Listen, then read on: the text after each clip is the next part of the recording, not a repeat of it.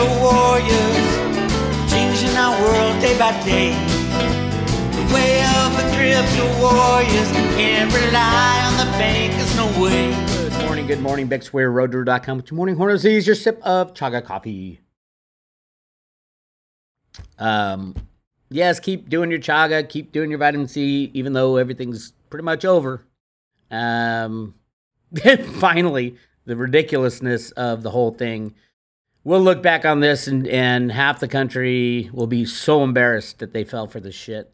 The other half will be saying, "I told you so," but no, who cares? I told, I told the whole "I told you so" thing. It, it it lasts so, it's so fleeting. It's like you can be right. It's like for silver investors, one day you're going to be right. One day the price of silver, the manipulation, the suppression will be over. Boom, silver jumps over $5,000, $10,000 an ounce, and you'll say, I told you so. Well, you've been in this 20 years. They've won the argument the whole time. Silver's not doing anything, silver. And you'll have one I told you so. And that lasts maybe a day or two. Where's the fairness? But that day is coming and it's coming faster and faster. It's so transparent now how they are rigging the markets. I talked to Jenny Moonstone a few months back, well, six months, a year back. And she was saying that the bad guys are going to, in the old manipulation, start a new one, but she wasn't sure if it's new or an old manipulation. And it didn't make sense to her, but it made sense to me. The old manipulation was the leasing of gold and silver to these criminal bullion banks. They sell it into the market and they short it like they own it. They don't own it, they lease it, and they got to return it to the proper owner, JP Morgan. Um, but it also also depends on how the lease contracts are written. It's very easy for JP Morgan to say, okay, Bank of America, we'll lease you 800 million ounces of silver because we have 1.2 billion ounces that we stole over the last 10 years while we were suppressing the price. We'll lend it to you. And the contract might say you pay us back in the equivalent amount of gold. It could it could say anything. Financial engineering is an amazing tool. They teach it in college. How to get around the rules and regulations, it should be called. They call it financial engineering. So yeah, clearly the the operation has changed, but it's the same old operation. The leasing of physical silver. It was mainly gold last time. The beginning of the 2000s. It all fell apart. Companies lost billions and billions of dollars. Barrick basically had to restructure. Barrick was a criminal money laundering, gold laundering front anyway. Uh, what was going on with Barrick Gold, with all like the Bushes and and senior uh, senior military people on the board of directors, uh, what they were doing is they were laundering um, gold from Yamashita's gold. That's the gold in the Philippines that was found 300,000 tons of it plus way over 300,000 tons. 300,000 tons. It's it was way over that. Um, but that was that wasn't even the big amount of gold. There's gold everywhere. Listen to the Cliff High interview. Listen to Bix Weir's analysis. Go to roadtoroota.com. Watch the, the videos, the introduction to the Road to Roota right on the front page. And you'll understand just how much we've been lied to. You know, if they can lie to us about, you know, what's going on with the jab and all that stuff, you know, what's going on with politics and the voting and they lie to us about everything. Why do gold bugs think they're lying? Don't think they're lying to us about the amount of gold available in the world. 200,000 tons is supposedly the number that they've been saying for Jeffrey Christian has been uh, spreading. That was his job. Goldman Sachs paid him to start CPM Group and, and spread these lies like there's only 200,000 tons of gold. There's millions of tons of gold, my friend. I know gold bugs hate to hear that. But th- the interesting thing is, over the last, say, three or four years, a lot of my gold bug friends have turned into silver bugs. They, they, they all of a sudden understand that silver has been suppressed. It's easier to see. And it's half of its all time highs, two times all time highs, 2011 um, and back to 1980. How much money? How many derivatives have been created since 1980? Silver should be $50,000, $100,000 per ounce. Per ounce. It's not silver that has the problem. It's the fiat dollar and the derivatives on fiat dollars. By the way, we hit 30 trillion in debt. Um, that's the debt we report. There's there's so many so many trillions, quadrillions of, of dollars that are created. It's what Roota wrote in the sand create money to infinity, soaking up all the benefits of unbacked fiat money. Pretend you got everything under control. In the meantime, buy all the assets you can buy, build all the houses you can build, strengthen your military, all kinds of things. China's basically doing it. We we had already done it, and we let China run with it. China's built vast ghost cities all over China, and it wasn't a waste of money. The money was was the issue. The money, unbacked fiat money that can be created, not even paper. You don't even have, need paper and ink anymore. Electronic blips. The invention of computers was the most hyperinflationary invention in human history. The invention of computers, I'd say, and derivatives. Derivatives are another form of money. And that's I you know, they keep saying 2 quadrillion, but they've been saying that for 10 years. I would say it's probably 4 or 8 quadrillion now. Why even why even throw a number on how much is being created in the background? We already know the Federal Reserve, the US Treasury, they create infinity money. There is nothing they can't afford ever. And then they tell us, "Oh my goodness, we hit 30 trillion dollars." 8 trillion of that has been since the, the pandemic hit. Blame something, blame the pandemic, where they decided to shut down business. The lefties decided, hey, this is our chance. Let's shut down every business we can, every small business, get just the big corporations. Then we'll go after the corporations, and people will own nothing, and the government will control everything. We kind of fell for it. A lot of people saying, you know, in Canada, finally, Canada's busting out the U.S. has still had its freedoms to a point. You know, the minute they started talking about mandated lockdowns and shots and all that, the U.S. started to perk up. Hey, not in my country, not in my country. And the idiotic lefties who have no idea what they're talking about or are so corrupt that they know what they're doing or are paid by the corrupt people, the George Soros. Uh, how many people are on the George Soros dole?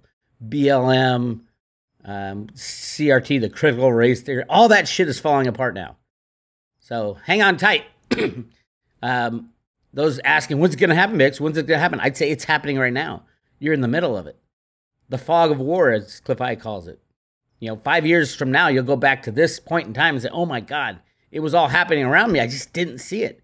Well, it depends where you are. If you had to shut down your business, your, your small restaurant, because of the ridiculous mandates, you're in it. You're in it. Now you're struggling to figure out what you're going to do next.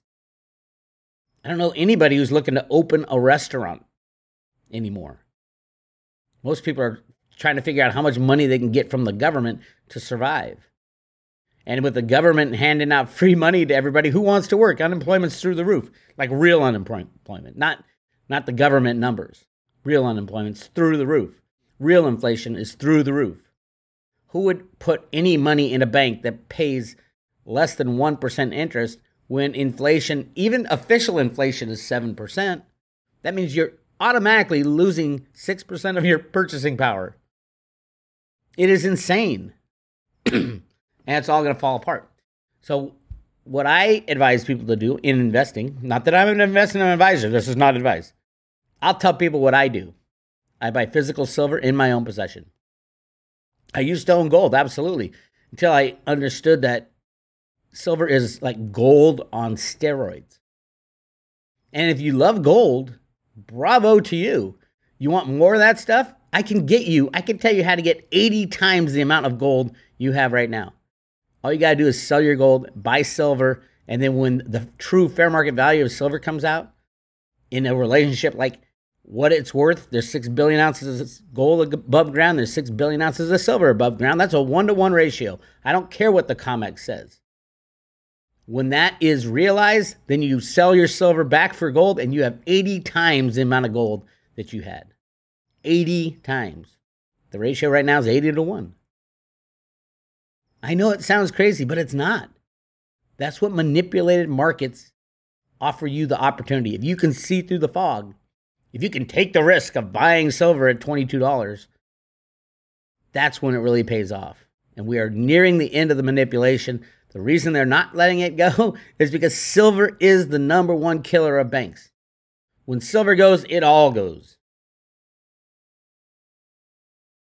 And silver is absolutely necessary for everybody uses silver every day. If you have a smartphone, you use silver. If you have a flat screen TV, you use silver. If you have an electric car, you use silver. If you get any of your electrical power from the grid, it uses silver. Remember, silver is the best conductor of electricity. And there are secret things about silver that they don't tell you. Uh, perpetual energy machines are coming and they will have lots of silver in them. I can't tell you when or how it would work. I've always been interested in the magnetic energy.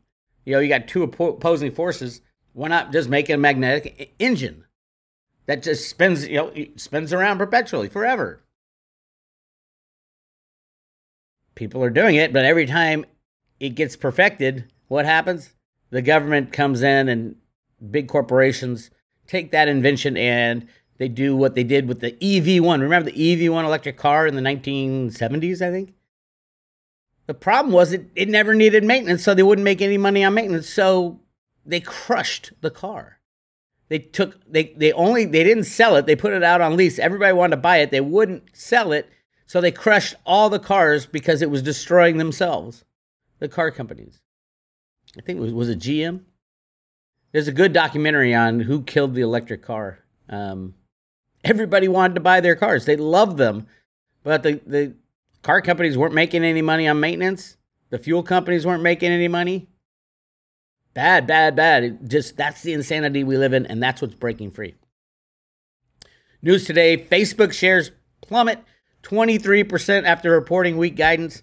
Facebook has always been a joke, way overvalued, massively overvalued, and now that people barely use, I don't know anybody uses Facebook anymore. Once in a while, an old person will still use Facebook. Very few people use Facebook anymore. People are tired of it. That's why they tried to to pivot to Meta, but now they're learning that Meta doesn't make any money. The virtual world, you're not going to make money right away. It's not something you can exploit like that.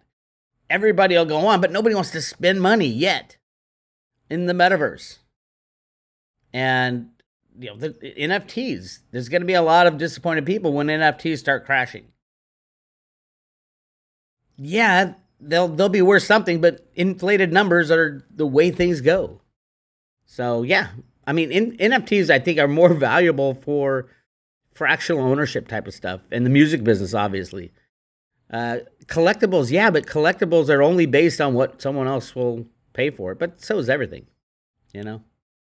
So I, you know, the metaverse, I get it kind of, um, but you'll have a lot of people who just don't even care, and then when the metaverse people all run out of the money they're using to pay back and forth to themselves, kind of like cryptos. Most cryptos are not bought with cash; they're bought with you know Bitcoin to buy Ethereum, Ethereum to buy Theta, Theta to buy T Drop, and cryptos being passed back and forth. That's what makes the market. And then Tether being created out of thin air. I don't think Tether's a, that big a deal. It's not a, a huge driver on price and value. It's a huge driver on people who are trying to game the market, absolutely. Absolutely. They'll dump it all into the fake tether. People think tether's worth a dollar, so they'll you know, it's it's a it's a mind game they're playing with you. It's a confidence game. When the confidence in tether's gone, then people won't buy tether. They won't put their money into tether. Or even if they not many people put money into tether, they'll put like Bitcoin into tether and then try to jump back into Bitcoin. Yes, Tether is a fraud. Tether is run by the crypto cabal, as I call them.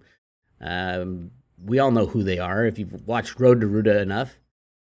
But at the end of the day, even if all money was gone, the next trade of Bitcoin sets the price, whatever that price may be.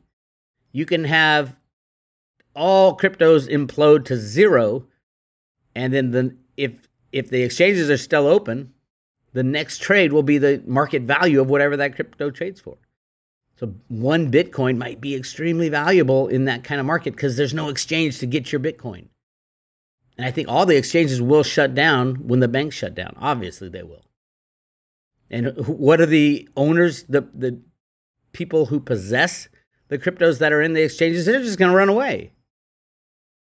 They're just going to run away. Say, I got mine. Too bad for you. Kind of like uh, Mount Gox. Mount Gox was not a hack. I, I keep screaming at people, it wasn't a hack. They just traded a hell of a lot more Bitcoin than they said they had, and they had there. It was a fractional reserve system, and when people started pulling out their Bitcoin, knowing it's a fractional reserve system, they didn't have the Bitcoin to give to people, so they declared it was a hack. You're gonna see that happen to all exchanges. Do not keep your cryptos in any exchange. And then at, at the end of the day, when shit gets cleaned up and there's no more tether and criminality starts running away because the regulators are actually doing their job, maybe, then we're going to see free, fair market value trading of silver, of gold, of cryptos. And if it trades in US dollars, it'll be massive. But I don't even think it'll trade in US dollars. You're not going to care about having US dollars in the future once you understand they, they create quadrillions of them every day if they wanted to. It's infinity money time. All right, great uh, analysis of the Facebook debacle. $200 billion wiped out. A stunned Wall Street response to Facebook's record $200 billion wipeout. Facebook, or Meta, now that it is in, in the witness protection program, is making rec- making record after dismal record this morning after its catastrophic earnings and guidance last night. Not only is the company's 22% drop the biggest in stock market history, but according to Bloomberg, the one-day crash ranks as the worst stock market, the worst in stock market history. The Facebook crash has erased some uh, 195 billion of its market cap. Do you think people withdrew 120 195 billion? No. It's just whatever the next trade goes for. That's the thing about market cap. Bitcoin can have a $1 trillion market cap that could go away the next day or could double the next day, depending on what the next increment of trade goes for. Market cap is just the last trade times the total float, the total amount of shares out there, the total amount of Bitcoin out there. That's what a market cap is. People think, oh my God, you know, $1 trillion of Bitcoin market cap. And you're like, it doesn't mean a trillion went into it. It means the last trade went for X amount times the total float. Same with Facebook. $195 billion did not come out of Facebook. The next trade that happened after this dismal report, it just traded for a lot lower. And you take that one, yes, people can't withdraw 195 billion because but it was never there. It was never there until you pull it out. It's not there. But hey, if you own a share of Facebook and it's in your own possession, who knows what that'll be worth? I don't even think the uh, brokerage houses allow you to do that anymore because they fake it too. There's so many more Facebook shares out there than they actually put out there. Two or three times as many are traded. Just look at the volumes on a daily basis. How many days does it take to go through Facebook's entire market cap and say, "Oh my God, everybody has it in their 401k, but you know, I didn't trade it. Did you trade it? No. Well, who's trading it? And why is it traded? It's not. It's all virtual now the metaverse is actually the reality we live. It's in uh, on the stock market. metaverse. Give me a break. Anyway, yeah, meta, meta, meta. We'll see how that goes. I think it'll be a long time before actual value is is gotten from. It is the wave of the future, yeah, but it'll be years, maybe decades before value, a true value, can be established for what's in the metaverse. Uh, so T drop. Let's talk about T drop. Speaking of metaverse, T drop is the reward T drop is the token for the metaverse in Theta.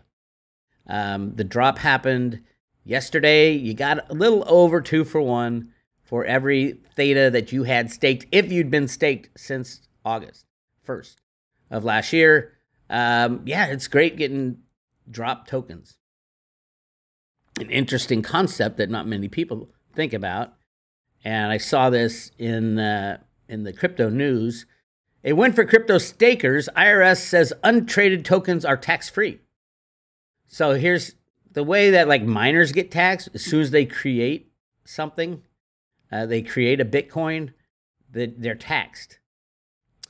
But this ruling, people are going to say, "Oh, good, I can I can stake anything and not be taxed on it when it when it gets into my own possession." That's not what they're saying.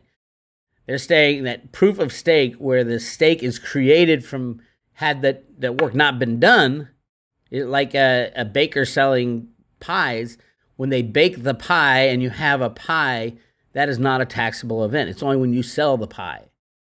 So with Bitcoin, when you when you mine Bitcoin, it's kind of the same thing. That that Bitcoin is being created right then. But then again, it gets to okay, there will only be 21 million ever created of Bitcoin. It gets really complicated. This is why we need to just get rid of the IRS, truthfully. Um, but yeah, they they lost a case where someone said, "Hey, I'm mining Tezos. I create I'm creating Tezos as I do that mining, so that is not a taxable event. It's only when I sell what I mined that would be a taxable event."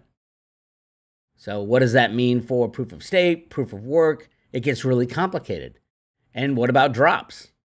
Like theta drop, is that taxable? And according to IRS rules, yeah, it's taxable when you get the drop.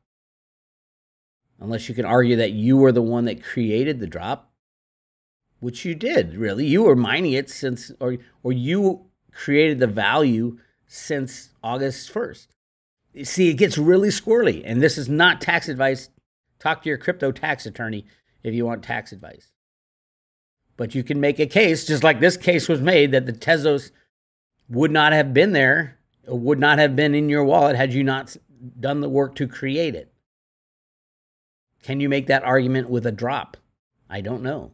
It's it's they'll argue it's a it's a a gifted thing of value that you have to pay tax on when you are given that thing of value, but you weren't given. You had to stake, you had to create, you had to put the effort in to create it. I it's it's tough. It's tough and the IRS is going to come down on everybody. My advice keep your cryptos in your retirement fund, self directed retirement fund, in a secure wallet. And that gets complicated too. It's just so the ridiculousness of the IRS and the government being involved in human activity is is what is going to end. And remember, IRS goes away if there's a banking collapse. The US government goes away if there's a banking collapse. They just go away. They will not be there anymore. They won't be the deciders. And they are so goddamn corrupt. The IRS is such a political entity. And we've seen it time and time again. So I'm not going to tell you what to do. I don't even know what to do, truthfully. But Theta Drop, uh, CoinMarketCap has posted it, it, although there's no trading yet on it. Um, I heard it's going for like 5 to 1 to T Fuels. And you can get it on, uh, what was it called? It's a, a, one of the swaps.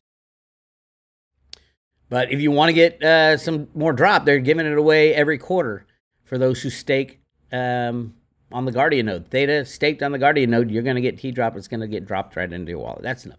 All right.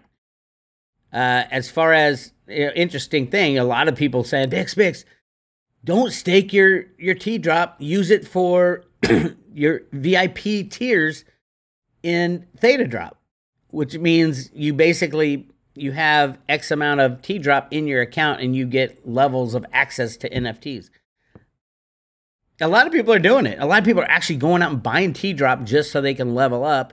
They want to get to the gold, which is 10 million T drops. 10 million T drops, and you get gold you get early access to this NFT stuff. So some NFTs. And a lot of people into NFTs are going to, wow, early access means you get like the winner every time, like buying yourself a winning lottery ticket. I don't know. I, you know. For me, I'm not worried about VIP tiers because I'm not that big into um, NFTs. But what it is also doing is taking T drop out of the market, which I like because right now I think it's about you make 120% on the T drop that you stake. Those are the numbers that I'm hearing. I don't know exactly, but you're going to get a lot more T drop if you just stake it. It's hard to see too. You have to basically open your wallet to see it. It won't show it on the Explorer. It'll just show you how much you um, you staked. But it's really easy to stake, and I hear you can get it out right away. I haven't tried to do that. It's early. It's a day old. It's a baby. Uh, but a lot of people trying to get to that gold or silver T drop. Uh, silver is a million T drop, and the gold tier is 10 million T drop if you're rich. But I also hear that Binance has not. Binance has not staked anything. Um, they're going to probably use it to for liquidity, and because Binance is the largest holder of Theta and Theta Fuel, they're, and they're the largest uh, validator node. So keep that in mind, and they'll add liquidity. But you know, they'll add market rigging too. I don't know. My guess is it will um, come out like four to five to one to T drop or to not to T fuel. And right now T fuel is like 20 to 1 with Theta. But Theta, you get these gifts. So who knows? Who the hell knows? All right. Uh, go to roadtoroota.com. Make sure you listen to the Cliff High interview. Cliff put a new one out on BitChute. Uh, go to Cliff underscore High on BitChute, and you're gonna see some real cool stuff with Cliff. But uh, as far as Cliff High on the fate of silver and humanity, go to roadtoroota.com. It's right at the top there.